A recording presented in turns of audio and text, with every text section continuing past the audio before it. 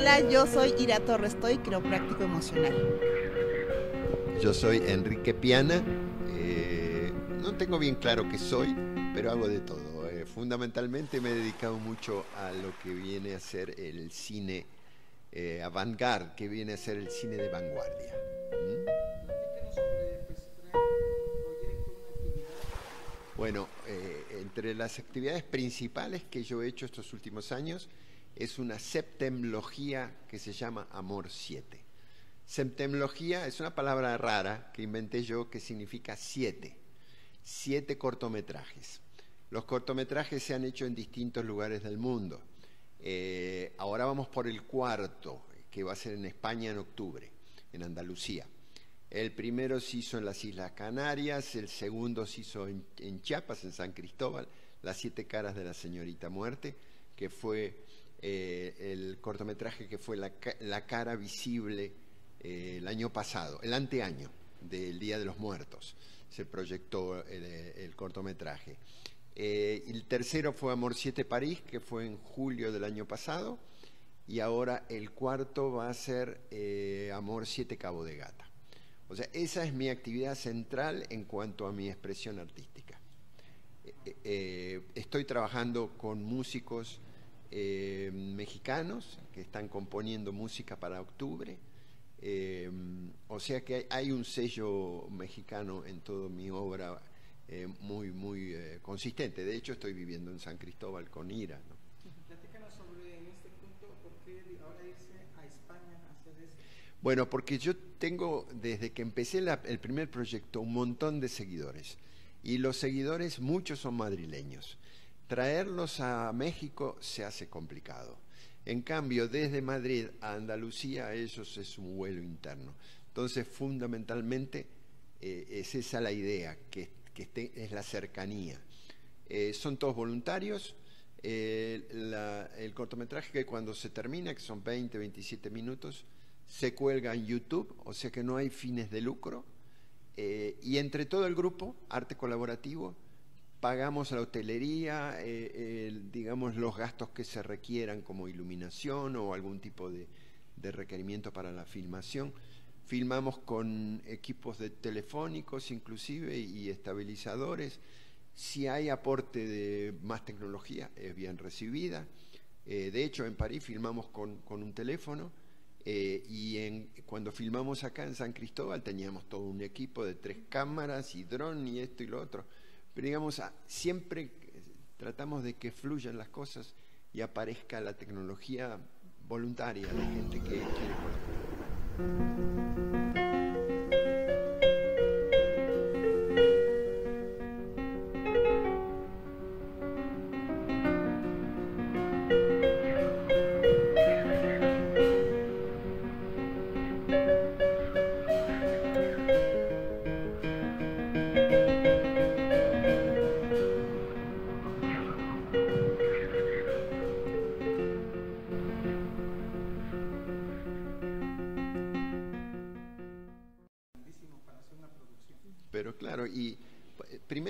Decir que el séptimo arte se puede hacer sin dinero y con aportes de cada uno.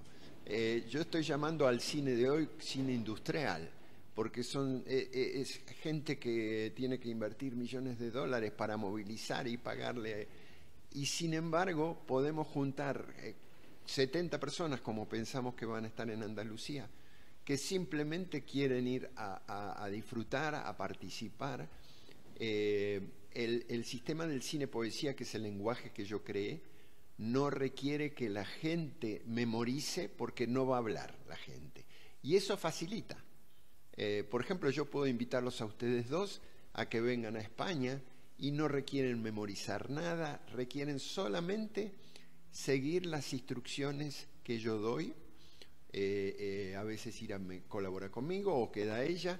Y, y, bueno, ella ve toda la Ira ve toda la parte emocional, porque lo que se da que al convivir siete días comemos entre nosotros, nos cocinamos nosotros, filmamos solamente mediodía, no hay dobles escenas, o sea que no hay desgaste de ningún tipo, ni presión de ningún tipo. La gente va participando y se va emocionando y, y much- mucha gente cambia su vida después de haber experimentado este tipo de, película, porque ve que puede hacer cosas que nunca se hubiera imaginado, ¿no? Y de repente vuelven y cambian su trabajo, o, o bueno, en la participación de Ira sobre las emociones, ella explica cuáles son las emociones que están actuando en la película. Así que mm, eh, eh, realmente eh, es, es muy interesante y es muy divertido. Por supuesto surgen emociones, hay gente que llora, hay gente que ríe, eh, hay músicos que a la noche eh, eh, hacen música para el grupo solamente. Si es un lugar de playa, salimos a hacer caminatas o fogatas a la noche y realmente se produce un- una cosa muy mágica y muy bonita. Esto es cine poesía. Esto es cine poesía. Sí.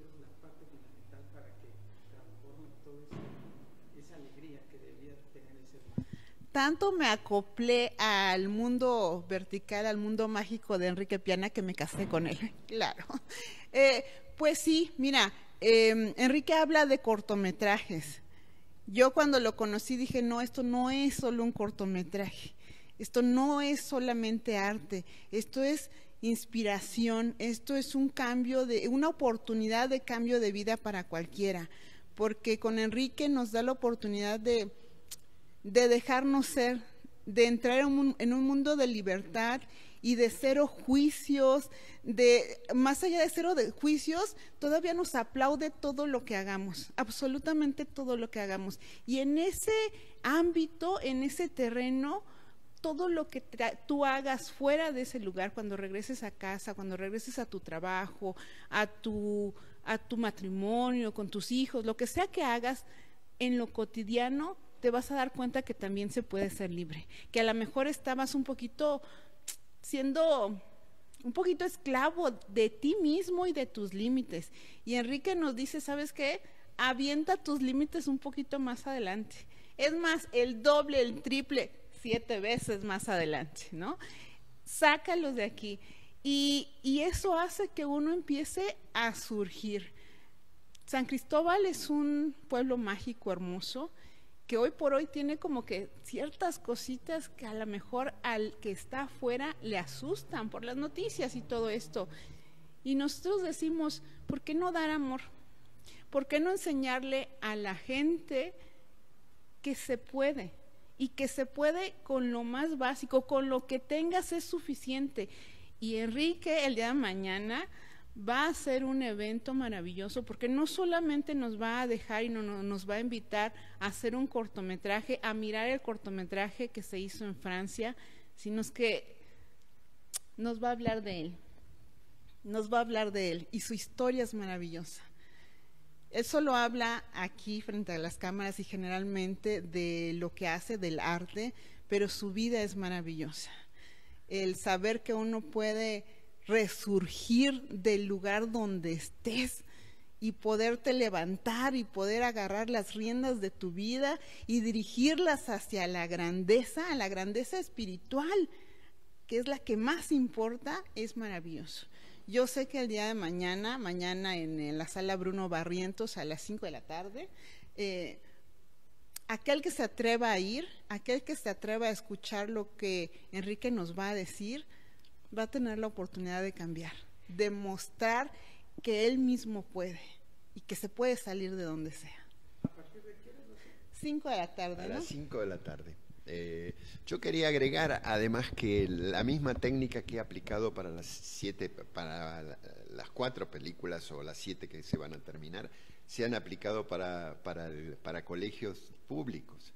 Eh, eh, el, el, eh, ¿Cómo que se llama? El, el, El C- CECIT 20. CECIT 20. Nosotros trabajamos con 10 chicos y aplicamos la misma técnica y con un sentido mucho más terapéutico, inclusive. O sea que lo que yo estoy proponiendo, que es el cambio y reforma, la muerte y resurrección, pero desde el punto de vista espiritual de persona, ¿no? Uno se muere para transformarse en otra cosa.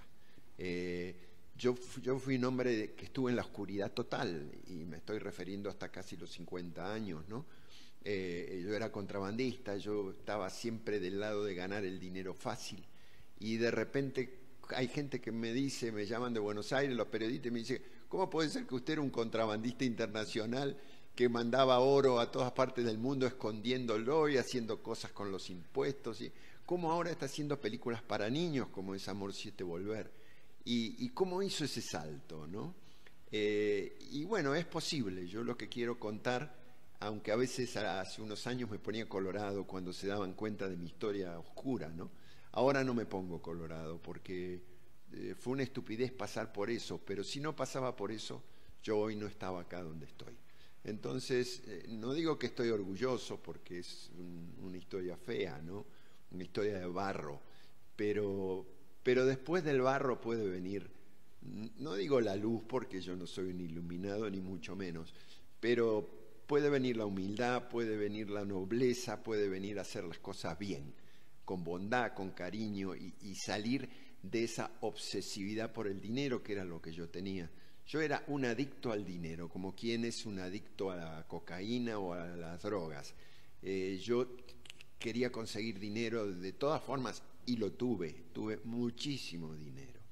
Eh, entonces, bueno, así también exploté y terminé en la cárcel y terminé en Estados Unidos en la cárcel, en Argentina y viví, viví una serie de castigos que fueron eh, positivos. ¿no?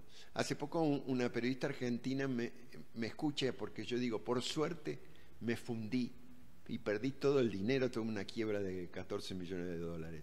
Y por suerte me metieron preso. Y, la, periodista dijo, espere, espere, que ese va a ser el título de la nota, ¿no? Y, y, le llamaba la atención, pero yo digo, es la pura verdad. No, no solamente esas dos cosas me salvaron, mucho más que eso, ¿no? El arte me salvó eh, eh, rescatar que yo escribía muy bien cuando era pequeñito, cuando tenía 7, 8 años, los maestros me decían que escribía muy bien, que, escribía con sentimiento. Y, eso me rescató, porque yo empecé a escribir cuando salí de la cárcel, empecé a viajar, hice el Camino de Santiago, fueron 14 años de peregrinación, ahí empecé a escribir poemas, historias, y llegué al cine con, mis propias historias, que son las que llevo a la, cámara. Y por eso hoy hacemos cine conciencia, que eso es algo hermoso que, hemos creado juntos, junto con la compañía de dos psicólogos, y el poder unir el arte a la transformación de vida, al rescate de almas, eso es algo, yo le digo a él, no sé si eres iluminado, si te dejaste iluminar, porque el sol nos da para todos. El caso es que nosotros tenemos que dar el paso para estar justo donde está el rayito de luz. Y, creo que Él dio ese paso y nos invita a todos a, dar ese mismo paso a buscar dónde está el foco de luz y ponernos debajo de él para que brillemos como debemos y como se espera que brillemos todo. Y parte de eso es Cineconciencia, que hacemos un curso aquí en San Cristóbal. Nos encantó San Cristóbal para hacer este, este cambio, esta reforma de vidas porque, porque se presta. San Cristóbal se presta para eso. La gente es linda, la gente es amorosa y tiene un propósito de vida importante.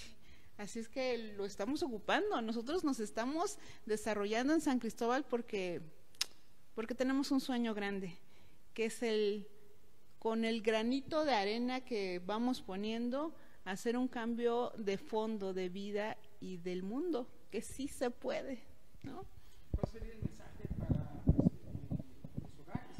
Bueno, para las familias que, que si hay problemas y hay conflictos eh, que en el mundo moderno cada vez aparecen más, se pueden resolver, se pueden resolver eh, de muchísimas maneras. No hay una sola salida, hay un montón de salidas, hay puertas y hay ventanas por todos lados.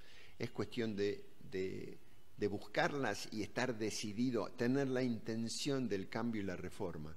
Y, las familias a veces incorporan eh, contradicciones, violencia, conflictos. Eh, la familia un poco está en crisis, no solamente en San Cristóbal, en todas partes del mundo. Entonces, bueno, hay que tener fe, hay que tener esperanza y hay que producir esos cambios. Y aunque uno sea un grupito familiar que, está, eh, tiene un entorno de conflicto y de violencia y de lo que sea, eh, superarlo, superarlo y que cada miembro de la familia pueda en equipo salir adelante y tener una vida eh, linda, hermosa, ¿no? Eh, que, que, que, es, en principio parece fácil lograrlo y, y, en la práctica, en la realidad parece difícil. Por eso yo digo que hay un mundo vertical que hay que meterse y ahí adentro están las risas de los niños, está la música, está el arte. Y, y no necesita uno ser artista, no necesita ser Picasso ni Dalí. Simplemente puede hacer de su vida un arte, cambiar su vida. Es como pintar nuestra propia vida y hacerla de colores y hacerla diferente y hacerla altruista y, darle para adelante con mucha fuerza, con mucha voluntad. Ahorita que estaba hablando Enrique, me acordé de un dicho que dice que cuando la vida te aprieta más, cuando la vida aprieta más, es porque tienes la oportunidad de un impulso supremo. Así es que solamente hay que desaferrarse de las cosas. Aviéntense, la vida nunca se equivoca, la vida no castiga. Solo hay que dejarse fluir y la vida te va a poner donde tus sueños querían que llegaras.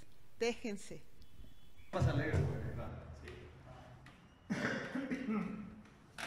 Toma uno, reflejo.